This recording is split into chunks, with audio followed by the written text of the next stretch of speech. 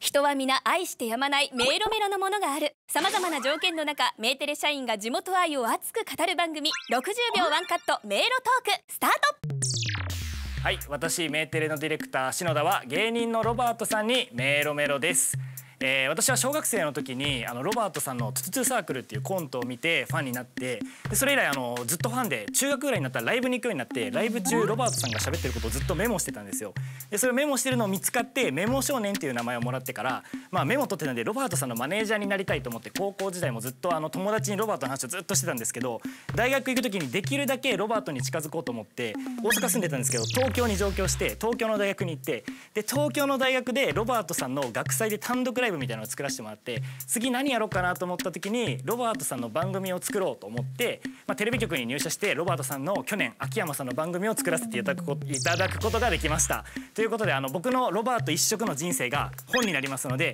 よかったらぜひ読んでみてください。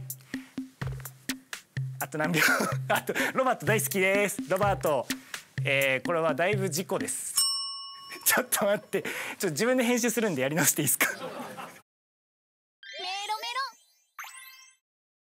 めっちゃやだこれ。流れないでください、えー、今まであの友達にずっとロバートさんの話とかは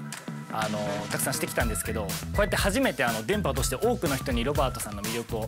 伝えられたのかなと思ってすごい満足はしてるんですけどちょっとロバートさんには見られたくないなっていう感想です。はずいわ、はい、大丈夫です